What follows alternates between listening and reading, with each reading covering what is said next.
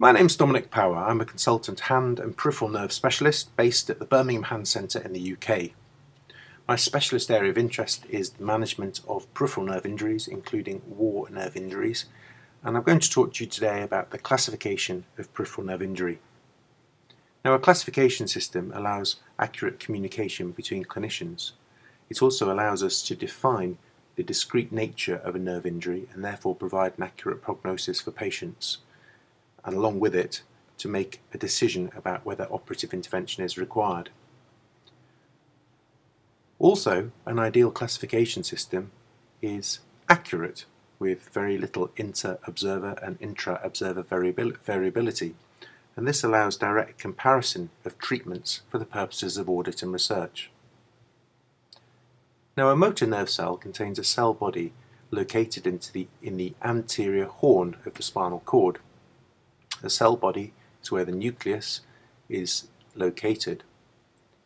Transcription and translation of DNA allows generation of organelles and new materials to support the cell and its nutrition, and also the neurotransmitter agents required for the motor end plate. The axon is the long projection from the cell body, and this is supported along its course by Schwann cells. The cytoskeleton allows transport of organelles and neurotransmitter substances along the length of the nerve cell. Schwann cells are associated with all peripheral nerves, and it is the degree to which they are related and the degree of involution and invagination of the axon that renders a nerve either myelinated or unmyelinated. Now within a peripheral nerve there are multiple bundles of nerve axons, and these are of many different types. You will notice from the table that there are large diameter fibres, and these tend to be myelinated for very fast saltatory or jumping conduction. And these are muscle uh, efferent fibres uh, and muscle afferent fibres controlling position. In addition, there are some very fast myelinated high conducting velocity pain afferent fibres. But then there are some other nerve fibre types within the nerve for slow pain and also for autonomic function, and these tend to be smaller and unmyelinated. It is an understanding of these different fibre types and their degree of myelination that allows us to consider different types of nerve injury. When we're talking about the classification of a peripheral nerve injury, we need to understand the microanatomy of the peripheral nerve. Each axon, shown here in yellow, lies within an endoneurial tube supported by Schwann cells. These individual axons are bound together into fascicle groups embedded within perineural tissue.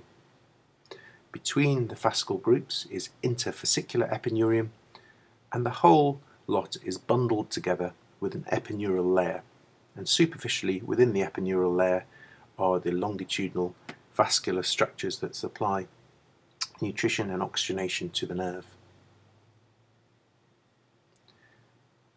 The basic understanding of nerve physiology is that the membranes are able to generate a resting potential due to the relative different concentrations of sodium and potassium and the relative different conductances across the membrane. The sodium, potassium ATPase pump allows exchange of these ions across the cell membrane, generating a resting potential. When depolarization occurs, there is a recruitment and opening of voltage-gated sodium channels, such that there is a change in conductance of sodium and then later a change in conductance of potassium across the cell membrane. And this allows depolarization once threshold is reached and then rapid repolarization of the nerve. In order to conduct quickly, as the surface area to volume ratio changes within a peripheral nerve and the nerve increases in diameter, Schwann cell invagination creates nodes of Ranvier and saltatory conduction can allow rapid propagation of nerve action potentials. The depolarization at the end plate, in this case a motor end plate, allows release of neurotransmitters across the synaptic cleft to receptors on the muscle. Now, the first type of nerve injury that we can understand is a loss of the electrochemical gradient and conduction within a peripheral nerve. It's also possible to have segments of a nerve that become demyelinated, and this will affect predominantly myelinated nerve types, the larger fast pain and also the large motor axons. With traction injuries, it's possible to disrupt the axons within the nerve. Once the axon is detached from the cell body, the distal axon undergoes Wallerian degeneration, creating a degenerative axonopathy. And it's possible for this axon to sprout and regrow slowly along the endoneurial tube as long as the whole nerve is not transected. If the nerve is transected, it will need to be realigned so the sprouting regenerating axon can find the right end target organ. Crush injuries or fracture fragments that are displaced or hematoma compress upon peripheral nerves and this renders the axon ischemic. Progressive pressure can result in apoptosis or a programmed cell death. This loss of nerve ability to regenerate is important when we consider late presenting nerve lesions. Nerves recover better when operated on or repaired early or when, he, or when any adverse environment is dealt with promptly, such as expanding hematoma affecting a nerve with compression. Now, the early classification of nerve injury that was popularised by Seddon was based on observation of those injured soldiers from the First World War. The first term, or neurapraxia, was described as a loss of function within a nerve, and an axonal injury with loss of the axon, a degenerative nerve lesion, was termed axonotmesis. Neurotmesis is the term used for when the nerve is actually transected and requires surgical repair. To talk about neurapraxia, apraxia means the loss or impairment of the ability to execute complex coordinated movements without muscular or sensory impairment. This does imply that there's no structural damage to the nerve. However, this is not an appropriate term to use in our modern understanding of peripheral nerve injury. Axonotmesis implies a cut axon, so a loss of axonal continuity with subsequent Wallerian degeneration, what is often termed axonopathy or degenerative axonopathy, and recovery can only re occur through axonal regrowth. It is possible in minor injuries to have spontaneous recovery without surgery, but more severe types of axonal injury may require surgical intervention, which I will talk about later. This, therefore, is not an absolute classification that describes all types of axonal injury. Neurotmesis is a cut nerve, and there's loss of the continuity of the axon and all of the supporting connective tissue. Wallerian degeneration occurs, and recovery is not possible without a surgical repair. This definition still stands today. Sunderland in 1951 tried to explain why some patients suffering axonal injuries did better than others and he came up with a theoretical description of the injury level within the nerve. He talked about axonal disruption in isolation, axonal disruption with endoneurial disruption, and axonal disruption with perineural disruption. And he implied that with progressive, more internal damage within the nerve, a good, successful outcome was less likely. So the classification that we have popularised for Sunderland implies neuropraxia, axonal disruption, endoneural disruption, perineural disruption, and nerve transection. The perineural disruption do very poorly, and these patients almost behave like a nerve transection. But this still begs the question about the definition of neuropraxia. Can one term be used to describe all types of non-structural nerve injury? Well, neuropraxia is a group of patients exhibiting different types of nerve injury. Some patients can recover within minutes or hours from injury, some within days, and some within months. But uniquely, the recovery in neuropraxia is spontaneous and complete. Can we explain these different pathologies in terms of what is actually happening in the type of nerve injury that we see? Nowadays we use the term conduction block.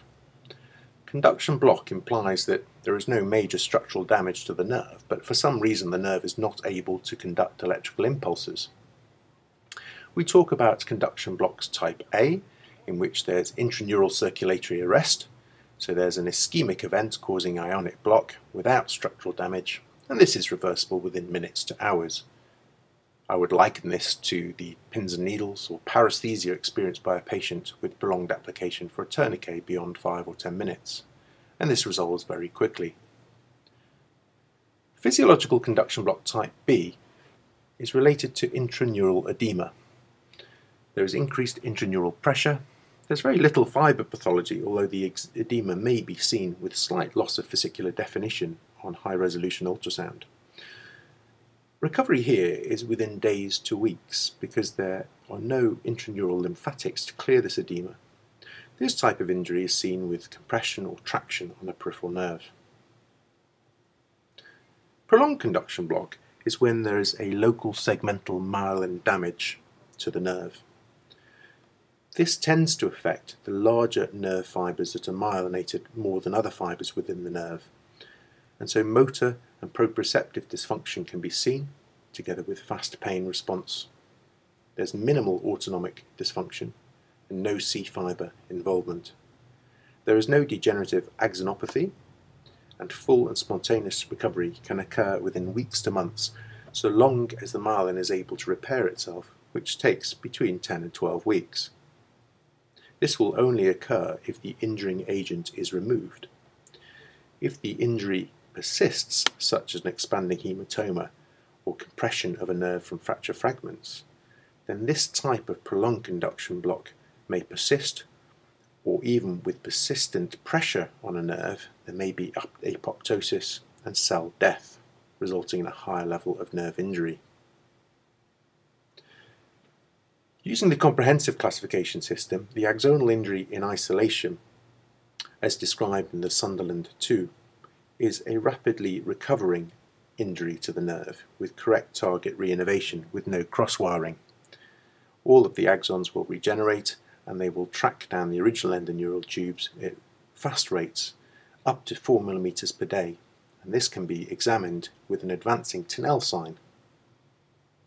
Full recovery is expected within weeks to months depending on the distance of regeneration. When the endoneural tubes within the nerve are damaged in addition to the axons, there is more disruption of the nerve and some intrafascicular scar formation. Axons trying to regrow may be misdirected with sensory and motor mixing. Axonal regrowth tends to be slower through the scarred bed at 1 to 2 millimeters per day, and recovery is often incomplete. Duration of recovery is again dependent on how far the injury is from the end organs. Once there is perineural damage within the nerve, there is much more extensive scarring. There is distal degeneration. The scar results in gross axonal misdirection, and normally a neuroma in continuity is the consequence.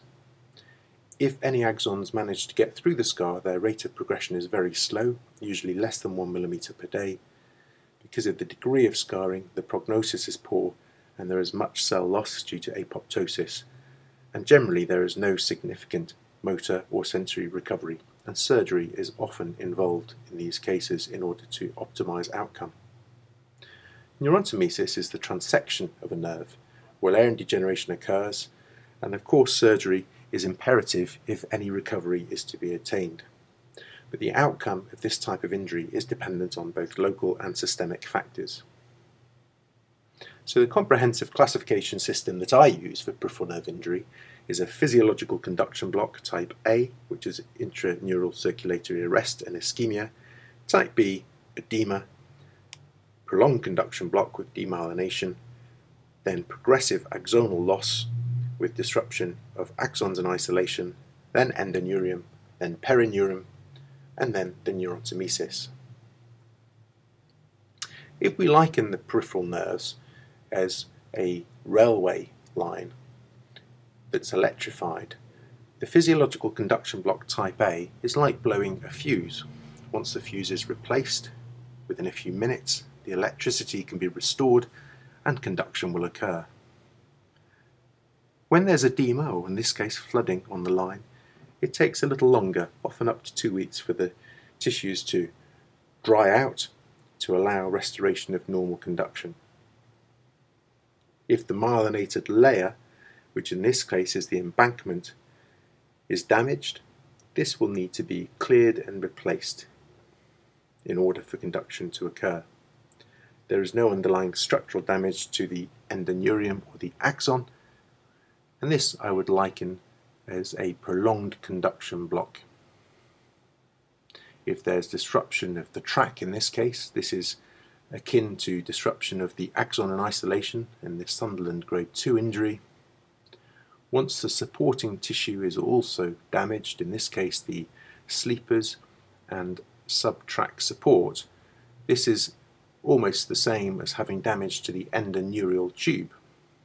It's possible to get restoration of the electrical signal, but it does require some reconstruction and regrowth of the axon and some of the supporting tissue. Once there is more extensive damage, in this case with perineural disruption, there is more damage to the nerve and more chance of miswiring during recovery. And neurotmesis results in transection of a nerve with gross disruption requiring surgical repair. I hope you find that this has helped in your understanding of peripheral nerve injuries. Many thanks for listening.